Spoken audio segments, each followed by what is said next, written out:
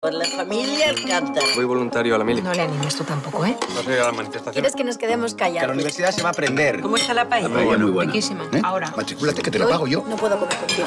Pues eso. La familia también es esto. Cuéntame cómo pasó.